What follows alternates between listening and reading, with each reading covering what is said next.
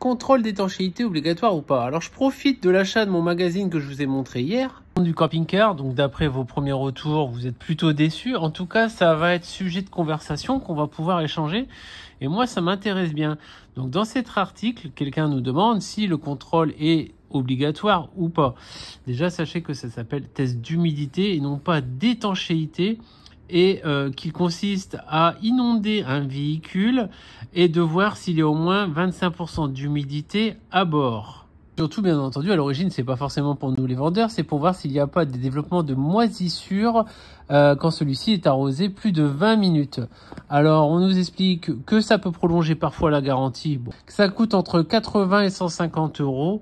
Euh, donc je me pose la question. Vous l'avez fait. Moi je vais vous dire en toute transparence, je l'ai demandé à mon vendeur et qu'est-ce qu'il m'a fait? Il m'a fait un contrôle d'étanchéité, sûrement chez quelqu'un qui est euh, qui a le droit de le faire.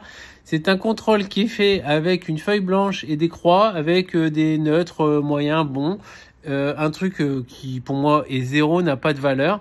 Mais bon, il m'a sorti un justif et à une vraie entreprise. Donc on pourrait s'attaquer à l'entreprise si on voulait. Si j'avais eu des problèmes, par chance, j'en ai pas rencontré, mais je suis intéressé de connaître vos retours parce qu'on voit plein de choses sur les réseaux avec des camping-cars bien humides.